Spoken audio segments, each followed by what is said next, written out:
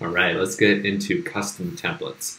So if you head over here to the Explorer and over to templates, you probably are very familiar with the templates that are built by the Coda team. So we basically collected all the best practices for running tasks or managing teams or writing within Coda and codified those a few years back to give you all the structure. But what we heard is a lot of teams wanted to customize their own. So what you can do today is you can do just that. So what I'll do is I'll start with this basic task tracker that I actually built uh, many, many months ago.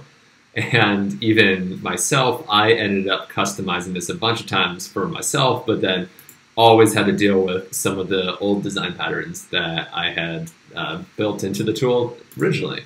So if I wanted to reuse this across many, many docs, this form of task management, uh, what I'll do is I'll customize this and show how to bring it to other docs. So on the add task, I thought it would be great to have a little pop-up. I actually don't like that in practice, so I'll get rid of that. All these examples are really fun and great, but I don't use them at all. I just like one line.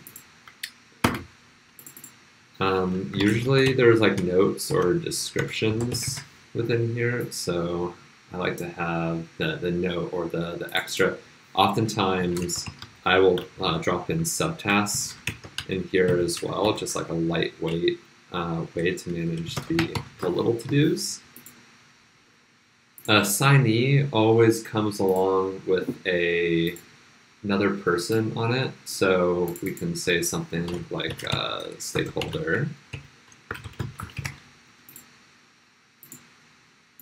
I like that to be a person column as well. Allow multiple people to drop into that. So all of us are stakeholders. There's an assignee. Status.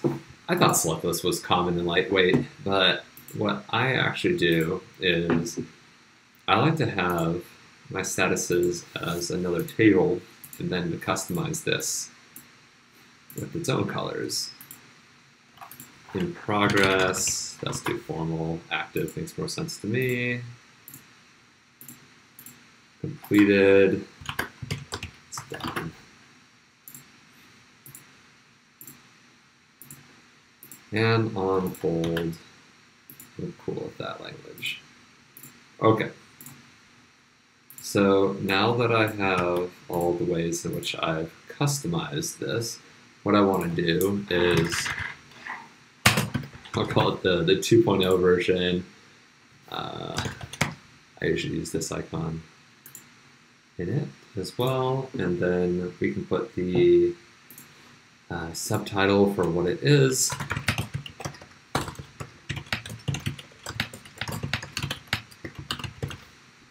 Okay, and then I'm going to take this doc, that's live doc, and make it into a template. So I'm instead of going to create a copy of this, I've been building it just as is, so I'm going to take this doc and put it as a template.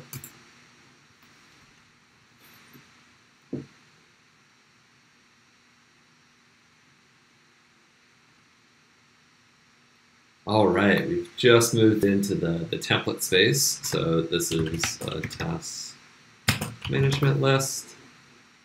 I don't need these. Okay, it's still in draft mode, and then I can publish it. I want to keep it just privately for myself because this is the way that I like to do things, but not promote it to the rest of the workspace. And then I'm going to allow at any moment to be able to use this template, whether it's creating a new doc or putting it into an existing doc that we're working on. Okay, so we just published this, and I'll show you where it shows up now.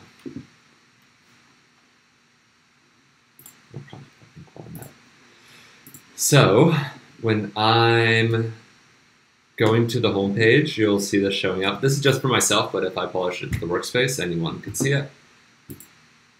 I'm adding a new doc, I can see this pop up as well. If I wanted to get more information on it, it's just going to be the, the same design as, as what I had just uploaded in an example. And lastly, if I were to create a brand new doc, or maybe I had an existing doc, I can pull it in.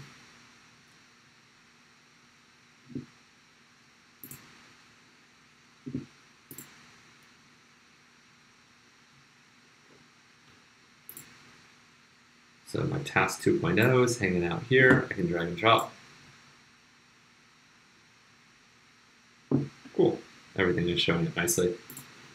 Alternatively, I can click this little plus here and search.